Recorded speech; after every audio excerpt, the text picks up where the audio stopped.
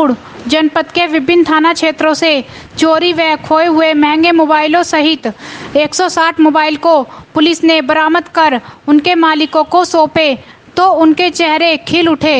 ये सभी मोबाइल 45 लाख रुपए के बताए जा रहे हैं।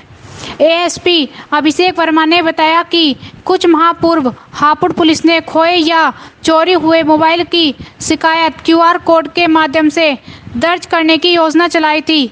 मोबाइल धारक चोरी व खोए हुए मोबाइल की शिकायत इस पर दर्ज करवा सकते हैं। लगभग 160 मोबाइल फ़ोन बरामद किए हैं। इसमें लगभग 45 लाख रुपए की कीमत के ये फ़ोन हमने विगत तीन माह में अभियान चला करके इसको बरामद किए। इसमें उल्लेखनीय बात है कि हमने एक सुविधा शुरू करी थी जिसमें क्यूआर कोड को स्कैन करके लोग अपने फ़ोन जो खोए हैं उसकी डिटेल इसमें डाल सकते हैं। तो उन क्यू कोड के माध्यम से लगभग सौ के आसपास ऐसे फ़ोन हैं जो हमने उस क्यूआर कोड के माध्यम से सभी को ट्रेस किया और बरामद किए हैं।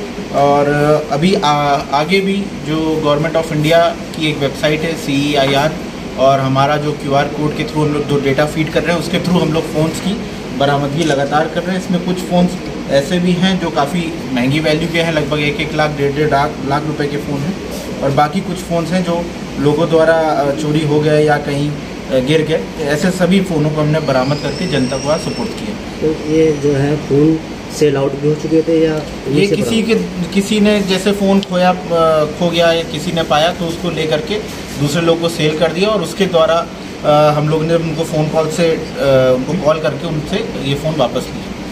तो इसमें कुछ लोगों की गिरफ्तारी नहीं इसमें कुछ लोगों की गिरफ्तारी नहीं कुछ ऐसे फ़ोन्स हैं जिनकी एफआईआर ऑलरेडी लिखी हुई थी जो स्टोलन फ़ोन्स थे उसमें वो लोग ऑलरेडी गिरफ़्तार होकर के जा चुके थे पर फ़ोन आज सबको सपोर्ट किए जाए